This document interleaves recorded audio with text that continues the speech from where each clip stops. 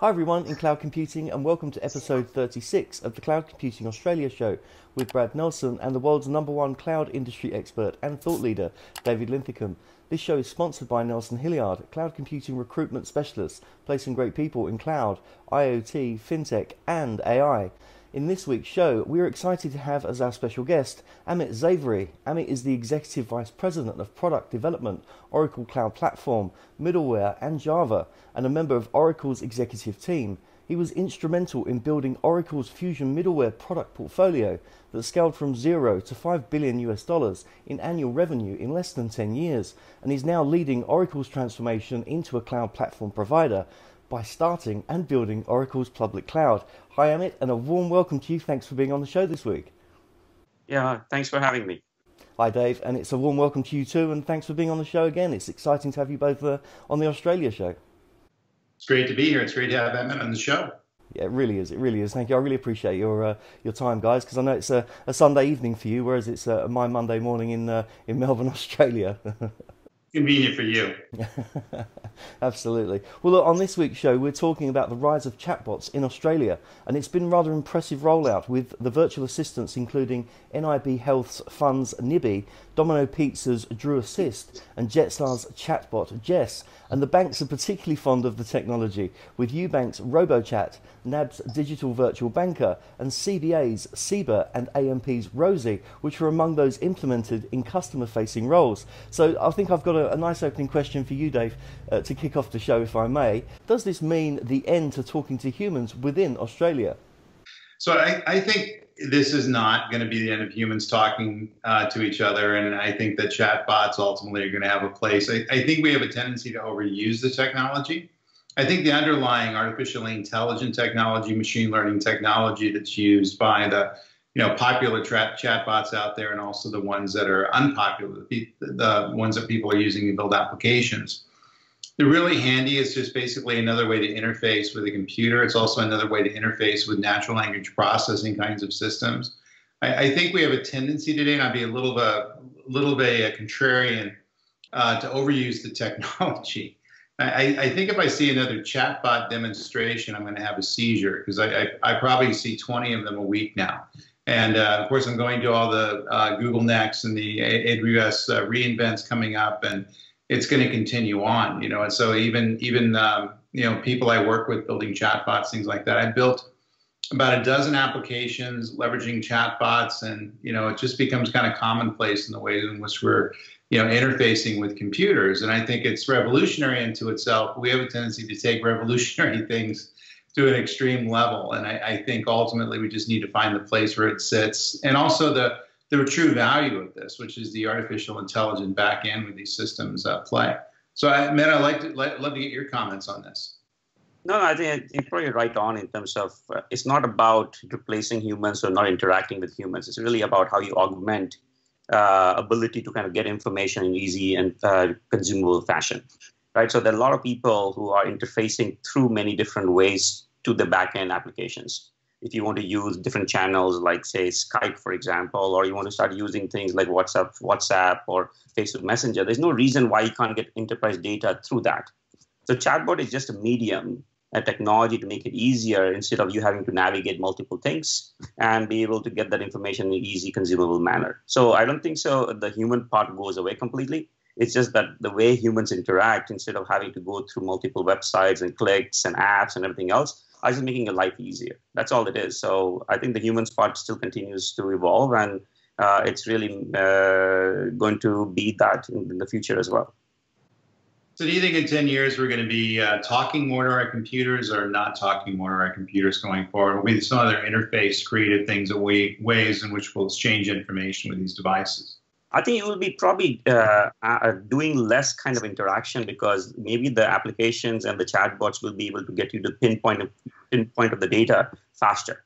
So your number of uh, interactions might reduce, which is probably a good thing because you don't want to be in front of your screen whole day trying to get your work done.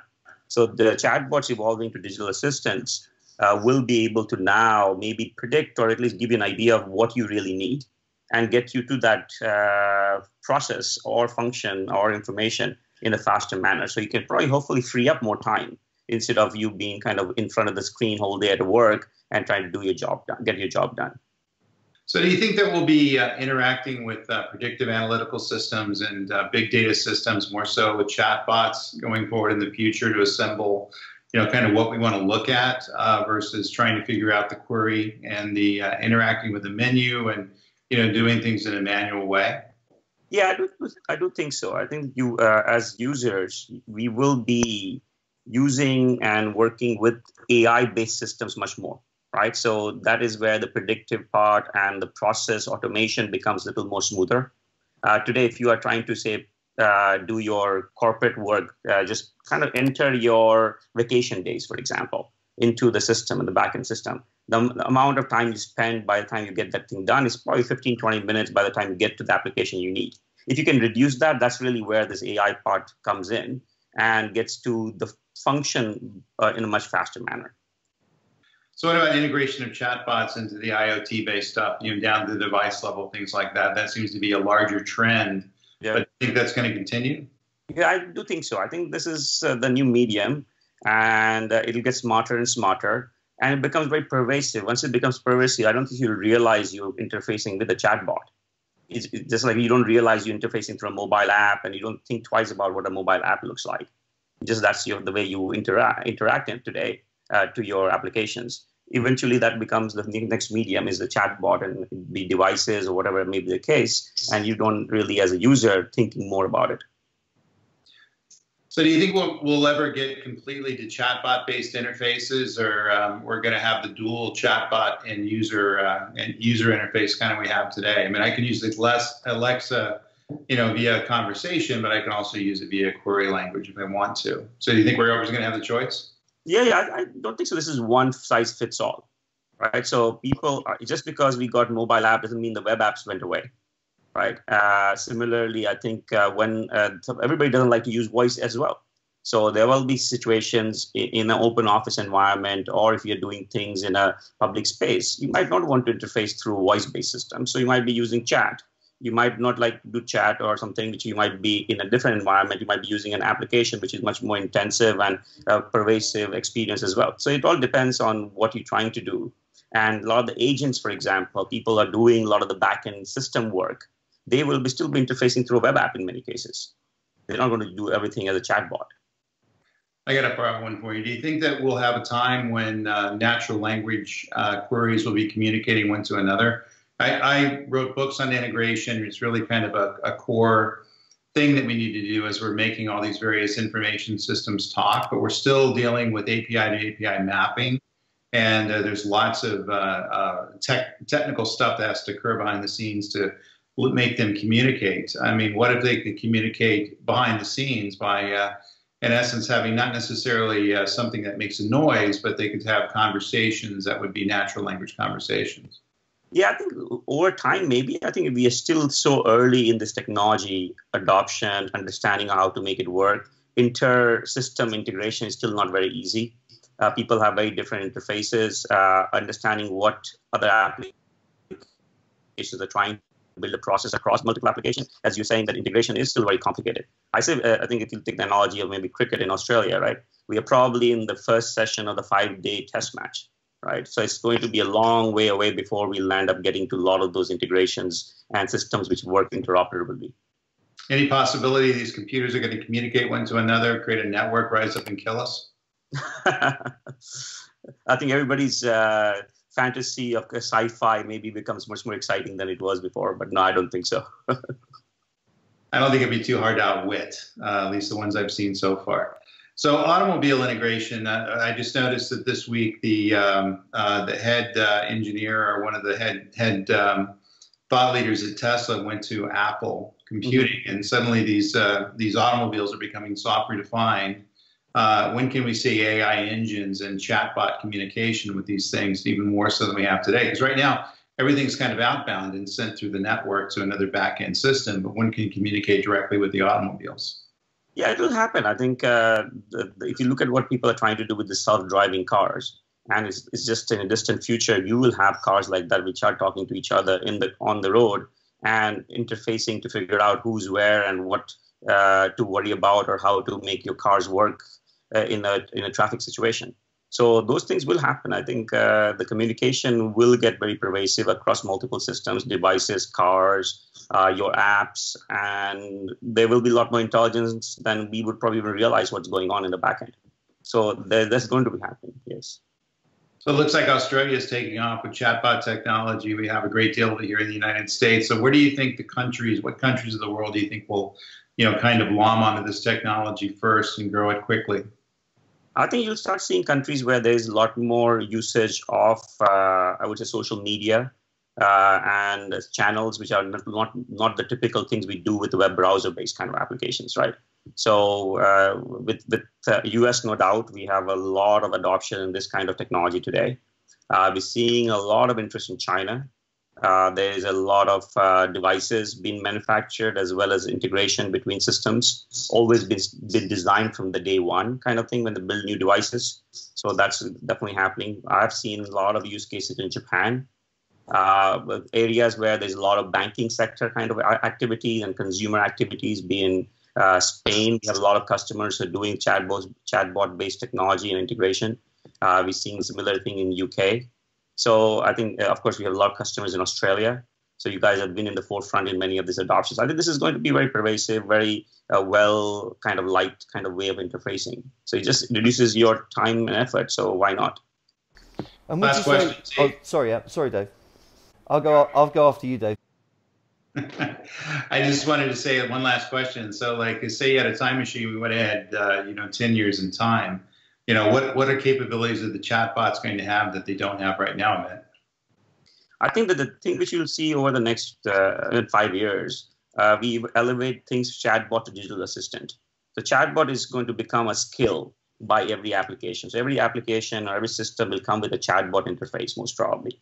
Uh, and then you'll have your own personal digital assistant for your enterprise work or your or your day-to-day uh, life, uh, kind of managing your life, con- connecting with all these different chatbots. Uh, as you can think about the way you talk about skills, for example, Alexa, right? And then you have Alexa kind of coordinating across some of the skills, but today they don't even know about each other's skills.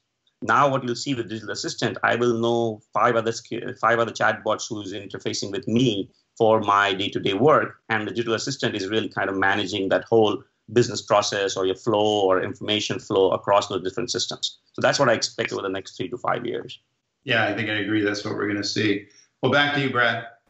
Thank you dave. Uh, yeah I've got to, i have one question for you Amit, because i think we've, we've covered some great topics. There were a couple of questions but dave's covered them off really well. Um, where do you see your priorities within oracle and artificial intelligence and chatbots?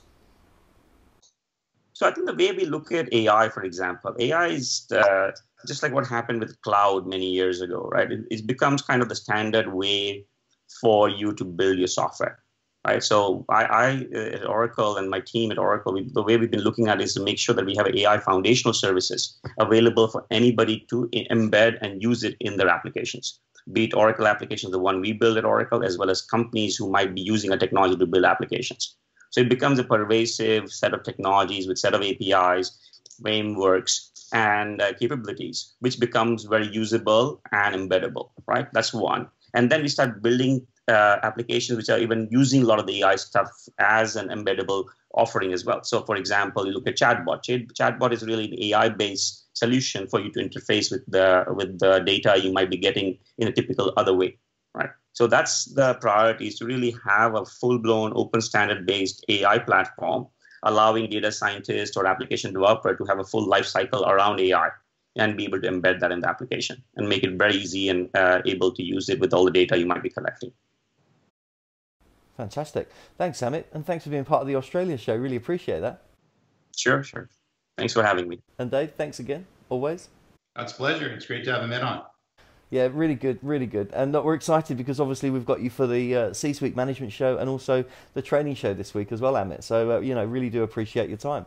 And look, everyone, thanks for watching. We really hope you enjoyed watching the show this week. Um, you can get us all on Twitter and uh, in the description box below there'll be all the links to Amit's Twitter, David and myself as usual. So look, thanks for watching. Remember to like, subscribe and comment on the channel and, uh, you know, share this video with your friends and with your colleagues. And look forward to seeing you next week. Thanks very much.